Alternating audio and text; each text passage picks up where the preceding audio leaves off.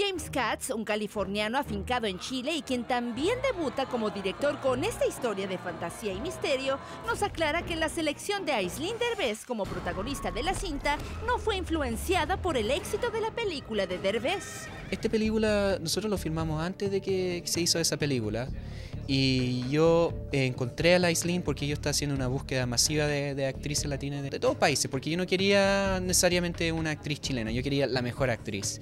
Y Aislinn definitivamente era la mejor actriz y por eso quedó en esta película. La cinta es también protagonizada por José María de Tavira, quien al parecer se convirtió en el ex de Ana Claudia Talancón, luego de que se rumorara de que el actor se cobijó en los brazos de Valerie Domínguez, Miss Colombia y prima de Shakira. ¿Novia? No, ¿Qué pasa? Un muchacho tan guapo, tan inteligente. ¿Quién ha sido esa experiencia no seas chismosa, no seas chismosa. Ahí está el internet. Queremos saber los gustos tuyos. Ahí está el Google. Y vaya que Google dio sus resultados, pero nada mal la prima de Shakira, ¿eh? Soy Dulce Osuna para Estrella TV.